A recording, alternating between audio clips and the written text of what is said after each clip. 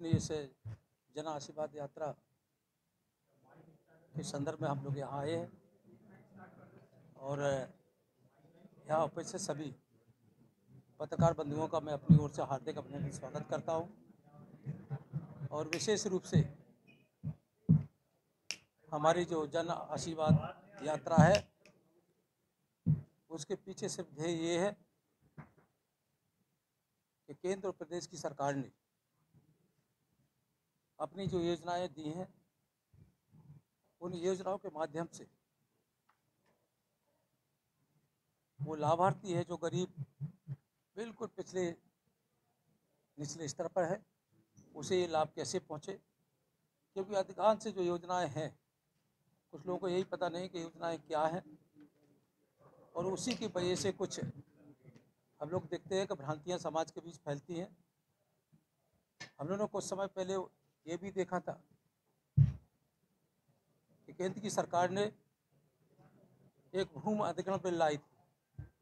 उसका बेहद विरोध किया गया था, लेकिन उसके विरोध के पीछे कुछ नहीं था। आज वो किसान बंधु उसका लाभ ले रहे हैं और उसका लाभ होके उसी कानून को आज मान रहे समाज। विशेष रूप से एक और, हमारे जितने भी सब नए मंत्री बने हैं नए मंत्रियों में, जो एससी के बने हैं एसटी के बने हैं ओबीसी के बने हैं, और हाईकास्ट में भी युवा, सबसे ज़्यादा युवा मंत्री बने हैं। उनको हम लोगों को शपथ लेने के बाद लोकसभा में परिचय होना चाहिए था, लेकिन लोकसभा में आज गिरती हुई राजनीति की वजह से जो कुछ दल ऐसे हैं कि उन्होंने जानबूझकर ये विरोध किया। उन्हें लगता था कि भारतीय जनता पार्टी ने अनुसूचित जात के ज़्यादा से ज़्यादा मंत्री बनाने का काम किया है, ओबीसी के ज़्यादा से ज़्यादा मंत्री बनाने का काम किया है और इतना बड़ा मंत्रिबल दे, देकर ये निश्चित ही समाज के बीच संदेश देना चाहते इसलिए उन्होंने लोकसभा विरोध किया और जितने भी नए मंत्री थे, उनका परिचय नहीं हो पाया।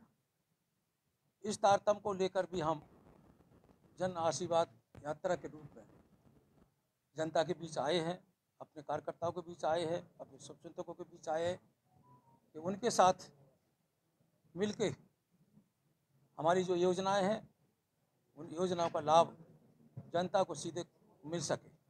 विशेष रूप से मैं देश के यशस्वी प्रधानमंत्री जी का आभार व्यक्त करना चाहता हूँ कि उन्होंने बुंदेलखंड से मुझे अपने कैबिनेट में जगह दी, अपने मंत्रिमंडल में जगह दी और उन्होंने केंद्र में राज्य मंत्री के रूप में मुझे शपथ दिलाई। और शपथ दिलाने के बाद उन्होंने एक ऐसा विभाग दिया है, जो विभाग को शायद अधिकांश लोग कम जानते होंगे, क्योंकि एम एस एम ई एक ऐसा विभाग है जिसे सुनने के बाद आदमी को लगता है ये विभाग कैसा होगा, क्योंकि वो सूक्ष्म, लघु और एक मध्यम उद्यमी मंत्रालय है। उसके अंतर्गत वो सारे व्यवसाय आते हैं जो गरीब लोग उस व्यवसाय को करते हैं। बड़ी बड़ी एजेंसियाँ हैं बड़ी बड़ी फैक्ट्रियाँ हैं, वो तो हैवी इंडस्ट्रीज़ के अंतर्गत आती हैं, लेकिन जिसका टर्नओवर ढाई लाख, ढाई करोड़ के, ढाई, नहीं, ढाई लाख करोड़ के अंतर्गत 250 करोड़ के अंतर्गत होता है, वो सारी फैक्ट्रियाँ एमएसएमई के मध्यम मंत्रालय के अंतर्गत आती है। विशेष रूप से अभी हम ललितपुर गए थे, वहाँ एक यूनिट एक क्लस्टर लगा था, उसका हम लोग वो स्तर निरीक्षण करके आए हैं। और ऐसे ही बुंदेलखंड में हम चाहते हैं कि ज़्यादा से ज़्यादा हमारे विभाग का किसानों को जो अपना गेहूँ तुरंत बेच देते हैं, फल पैदा करते हैं, उसे बेच देते हैं वो उसे रख के अच्छे दाम कमा सकें और अपनी आय को बढ़ा सकें।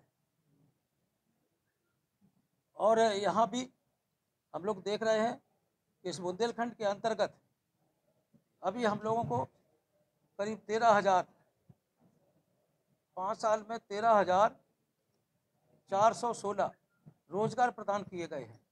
उसी तरीके से आप लोगों ने देखा है कि जहाँ जहाँ जो स्फूर्ति के अंतर्गत जो क्लस्टर को पैसा मिला है, उससे लोग, अब इन्हें लोगों के, उनकी यूनिट में जो काम करते हैं, उनकी आमदनी को बढ़ाने का काम वो लोग कर रहे हैं और आगे बढ़ रहे हैं, वो ट्रेनिंग भी ले रहे हैं। विशेष रूप से एक चीज़ और, हमारे बीच जो आई है, हम लोगों ने जैसे ही मंत्रालय के कामकाज को संभाला और संभालने के बाद विभाग की सारी चीज़ों को देखा तो एक चीज़ हम लोग के सामने आई, क्योंकि यहाँ बुंदेलखंड में अन्ना पशु प्रथा ज़्यादा है। और उस अन्ना पशु प्रथा की वजह से किसानों को बेहद परेशानी होती है। केंद्र सरकार और प्रदेश सरकार ने योजनाएँ बनाई। प्रयास किया कि गरीबों को चार चार जानवर देने का काम किया है। उन्होंने ब्लॉक एक नोडल एजेंसी थी। उस नोडल एजेंसी के माध्यम से कोई भी किसान चार जानवर ले सकता था और उसे छत्तीस सौ रुपया महीने महीने की आय हो सकती थी।